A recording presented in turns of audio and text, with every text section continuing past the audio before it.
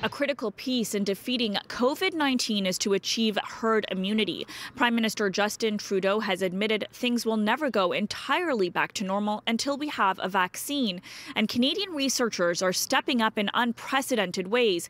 We spoke with one company already moving towards the testing stages of a COVID 19 vaccine candidate.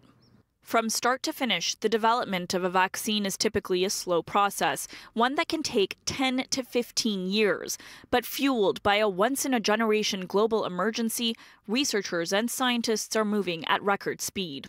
It's absolutely fascinating what's going on. This is completely unprecedented to see the scale of response for, for making a vaccine to this disease. Producing a vaccine involves multiple steps that include studies in animals and then human trials. This particular vaccine will present unique challenges as COVID 19 is unlike anything the world has ever seen. But Medicago, a Canadian biopharmaceutical company, is making huge strides. They say just 20 days after receiving the virus gene, they successfully produced a viable vaccine candidate against COVID 19.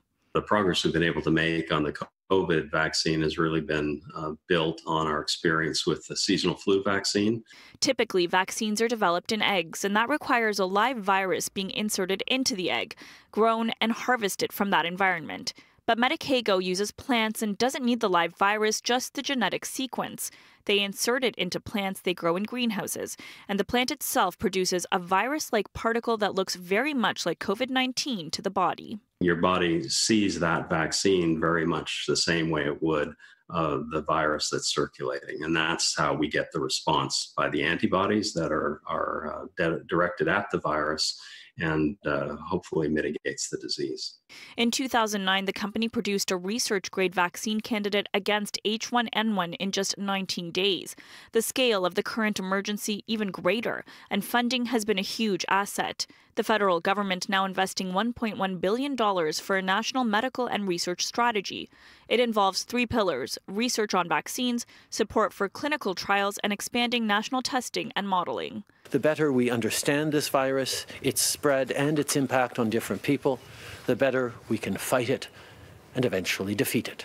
So, the question everyone has been asking when can a vaccine realistically be distributed safely to the public?